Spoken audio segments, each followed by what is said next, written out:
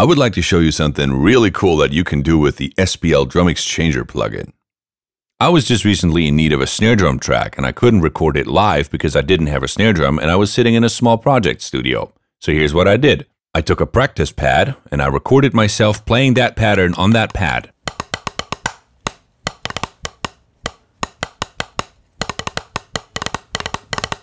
And then I loaded it up into Pro Tools. I then assigned the SPL DrumXchanger plugin to that track. So here's the track again just as I recorded it.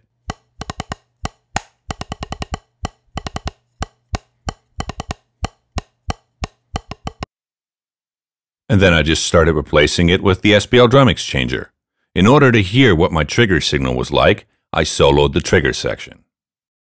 Then I pushed the transient gain for best result.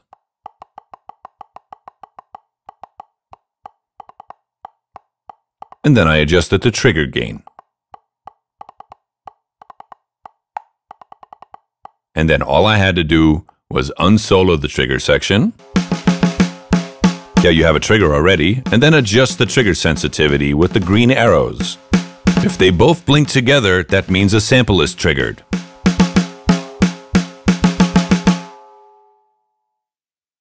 Then I listen to the original signal. And since I don't actually want to use that original signal at all, I switch the dry wet to all wet.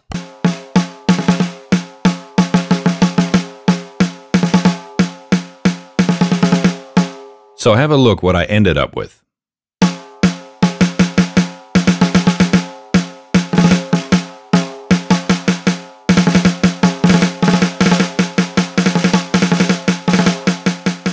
If you want to check out the DrumXchanger plugin for yourself, you can go online to www.spl.info. You can download the DrumXchanger and the sample packs, install them on your computer, and test them for 14 days without any limitations or restrictions. So thanks for listening and have a lot of fun experimenting around and making music. And until next time, bye bye.